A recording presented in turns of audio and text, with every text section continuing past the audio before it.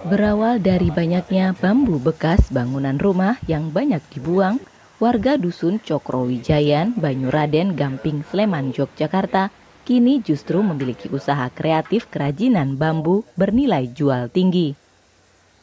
Bambu-bambu bekas dimanfaatkan sebagai bahan kerajinan seni berbentuk kapal pinisi yang tampak rumit, menarik, dan bernilai seni tinggi.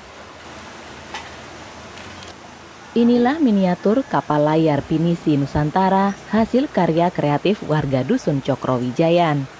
Bentuknya yang rumit dan tampak elegan membuat orang tak menyangka jika kerajinan bambu ini dibuat dari limbah bambu bekas bangunan rumah. Adalah Irfan Didi Wibowo, warga setempat yang semula mencetuskan ide membuat kerajinan dari bambu bekas ini.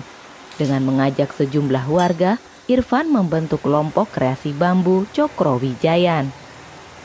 Ini awal mula di tempat tinggal kita itu banyak limbah dari bangunan menumpuk.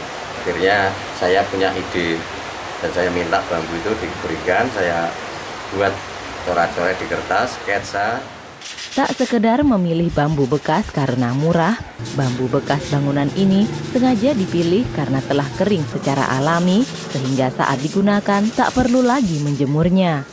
Tingkat kekeringan bambu bekas ini pun dinilai ideal sebagai bahan kerajinan unik ini. Kenapa saya pakai limbah bangunan itu karena bambu itu sudah terjemur dengan sendirinya.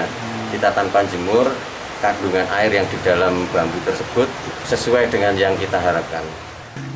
Berkat ide kreatif ini, warga memiliki usaha sampingan yang mampu mendatangkan penghasilan lumayan.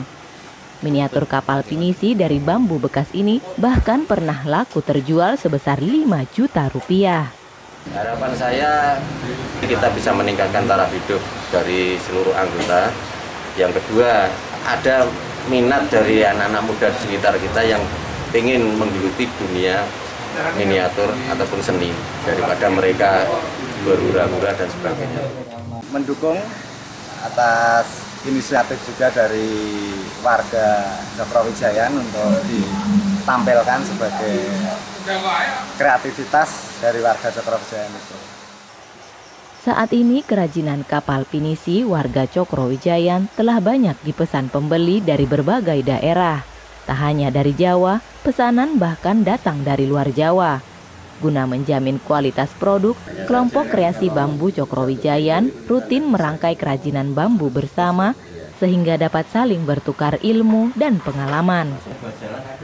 Muhawan Cendana TV mengabarkan.